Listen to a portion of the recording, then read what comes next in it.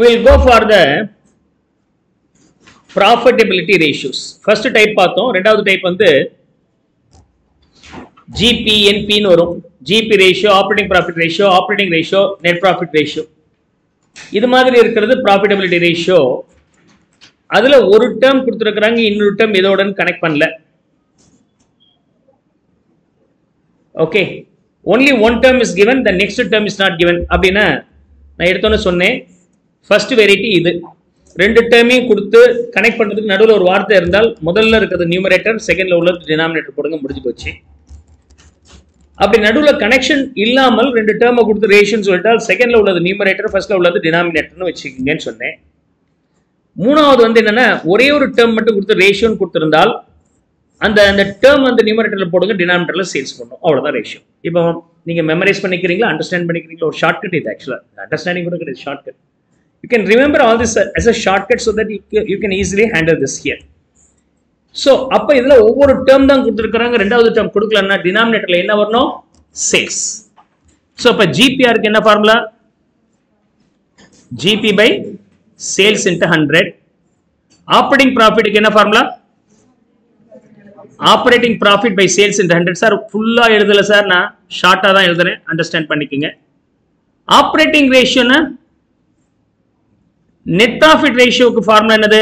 Net profit by sales and hundred அது ஏன் கூட சொல்லக்கூடாது நீங்கள் ஏழாவது கொஸ்டினுக்கு நான் பதில் சொல்லாம விட்டுருக்கிறேன். அதை ஆன்சர் கொடுக்கணும். What is operating ratio operating ratio hmm? Operating ரேஷியோக்கு formula என்னவா இருக்கும்? ஆப்ரேட்டிங் அப்போ இது என்னது ரேஷியோ ஆப்ரேட்டிங் ப்ராஃபிட் ரேஷியோ என்னது? Who is that? Expenses correct working working capital. Expenses is operate பண்றதுக்கு ஆன செலவு ஆப்ரேட்டிங் ஆப்ரேட்டிங் ரேஷியோப்பா இதை ஆப்ரேட் பண்றதுக்கு. உங்களுக்கு புரியலன்னா உங்க பேரண்ட்ஸ் கிட்ட போய் கேளுங்க. என்னை வச்சு மேய்க்கிறதுக்கு எவ்வளவு செலவாகுதுன்னா டக்கு டக்கு டக்குன்னு சொல்லுவாங்க. இந்த மண்டைக்கு ஒரு அஞ்சாயிரம் ரூபாய் அந்த மண்டைக்கு ரெண்டு பசங்க தான் இந்த மண்டைக்கு ஒரு அஞ்சாயிரம் அந்த ஒரு மண்டைக்கு ஒரு அஞ்சாயிரம் செலவு பண்றேன் அப்படிம்பாங்க. சார் அதெல்லாம் கம்மி சார் நாங்கள் இந்த ஜாஸ்தி பண்ண மாட்டேன்றீங்க. So that is what about maintaining this business or operating this business what is the cost அப்படிங்கிறது தான் ஆப்ரேட்டிங் ரேஷியோ இந்த ஆப்ரேட்டிங் ரேஷியோ வந்து சிஏ புக்கில் வந்து அதர் ஆப்ரேட்டிங் எக்ஸ்பென்சஸ் எடுக்கிறாங்க. அது எனக்கு உடன்பாடு இல்லை. என்னையோ as you have to ready study and pass the CA exam you have to go with your book ஆக்சுவலாக என்ன எடுக்கணும்னா operating expenses by sales into hundred தான். இதுதான் formula operating expenses by sales into hundred ஆனால் operating எக்ஸ்பென்சஸ்னா என்ன? அதில் டிஸ்பியூட்டருக்கு I usually don't go with the CA material but CA மெட்டீரியல்ல என்ன கொடுத்துருக்குறாங்கிறத நான் கைட் பண்ணிடுறேன். ஓகே அதாவது எது ஆப்ரேட்டிங் எக்ஸ்பென்சஸ் இது? ஒரு ஃபார்மேட் நான் ப்ரீவியஸ் கிளாஸ்ல கைட் பண்ணியிருக்கிறேன்.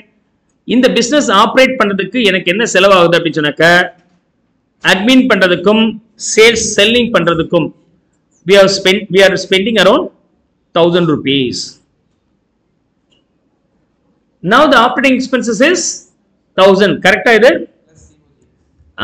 பிளஸ் சிஓஜிஎஸும் கரெக்ட் காஸ்ட் ஆஃப் மெயின் குட்ஸை வாங்கி ப்ராசஸ் பண்றது தானே இப்போ ஆப்ரேட்டிங் எக்ஸ்பென்சஸ் இது அதர் ஆப்ரேட்டிங் எக்ஸ்பென்சஸ் அப்படின்னா you have to add this fifteen thousand and this thousand both together the operating expenses should be sixteen thousand எவ்வளோ இருக்கணும்?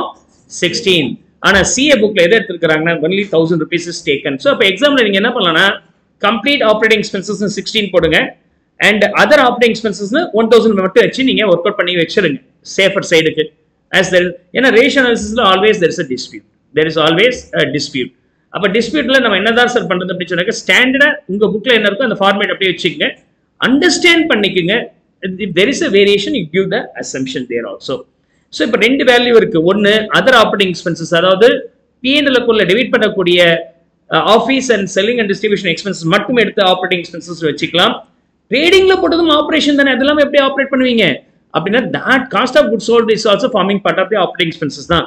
அப்போ fifteen plus one sixteen thousand can be taken sixteen thousand can be taken so here here operating expenses could be only admin and selling and distribution PNL அக்கௌண்ட்ல debit பண்ற ஐட்டங்கள் இன்னொன்று admin selling and distribution as well as cost of good sold that should also be addable okay this is the format given in your text and I recommend this one. So ரெண்டுமே சேர்த்து நம்ம போட்டுக்கலாம் formula தெரியும் நம்பரை கொண்டு வந்து fit பண்ண வேண்டியதானே we already for, developed a format for understanding all these terms so i'm just picking that that values from there so இதுல வந்து பாத்தீங்கன்னா நமக்கு என்னென்ன இருக்கு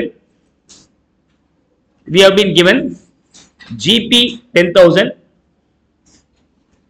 gp 10000 operating profit 1000 and net profit அப்படிங்கிறது net profit after tax தான் நம்ம எடுத்துக்கணும் net profit after tax which is 5340 and other operating expenses other operating expenses 1000 cost of goods sold எனக்கு தேவையான விஷயத்தை நான் எடுத்து வச்சுக்கிறேன்ப்பா வேற ஒன்றும் கிடையாது which is 15000 which is 15000 very often we'll take this information wherever we are in need.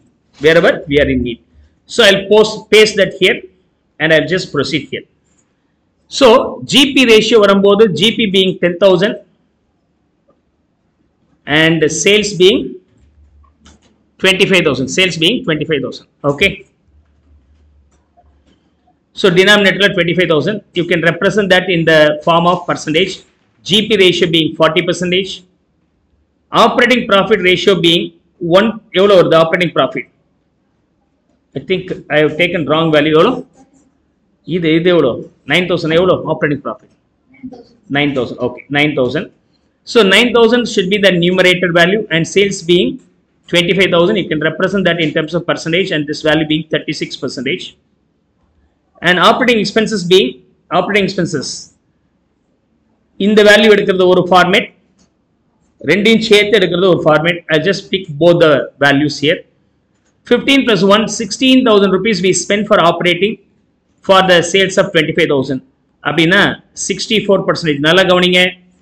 இந்த operating ப்ராஃபிட்டையும் ஆப்ரேட்டிங் ரேஷியும் ஆட் பண்ணிங்கன்னா எப்பொழுதுமே ஹண்ட்ரட் பர்சன்டேஜ் இருக்கும். ஓகே எப்போதுமே ஹண்ட்ரட் பர்சன்டேஜ் இருக்கும். ஆப்ரேட் பண்ணுறதுக்கு அறுபத்தி நாலு ரூபா செலவாயிடுச்சுன்னா பேலன்ஸ் இருக்கிறது என் கையில் இருக்கிற பைசா. அப்படின்னு பார்க்கறது better if I use this model அதாவது அட்மின் அண்ட் செல்லிங்கை மட்டும் எடுத்தோம்னா அப்போ எப்படி வரும் ஆப்ரேட்டிங் எக்ஸ்பென்சஸ் அப்படிங்கிறது admin and selling and distribution expenses only divided by sales into 100 the admin and selling and distribution expenses being only 1000 sales being 25000 if i represent that in terms of percentage the ultimate value being 4 percentage this is the another one and then the last one being the net profit ratio under net profit ratio net profit should be the numerator which is 5340 5340 divided by your sales being 25000 constant number. Come on what's the value here? 21.36 percentage is the net profit ratio. So operating ரேஷியோவில் நான் சொல்கிற ஃபார்மேட்டில் போட்டிங்கன்னா operating ப்ராஃபிட்டையும் operating expenses ரேஷியோயும் add பண்ணிங்கன்னா hundred percentage வரணும். Operate பண்ணதுக்கு அறுபத்தி நாலு ரூபா செலவாயிருக்குன்னா பாக்கெட்டுக்கு வந்தது முப்பத்தி ஆறு ரூபாங்கிறது கரெக்டாக இருக்கும். ஆனா புக்ல வந்து என்ன பண்ணியிருக்கிறாங்க? ஆப்ரேட்டிங் எக்ஸ்பென்சஸ் அப்படிங்கிறது காஸ்ட் ஆஃப் குட் சோல்ட விட்டுட்டு எடுத்திருக்கிறாங்க. அந்த மாடலையும் நீங்க போட்டு வச்சிருக்க safer side right come on finish off copping this this the second set of profitability ratios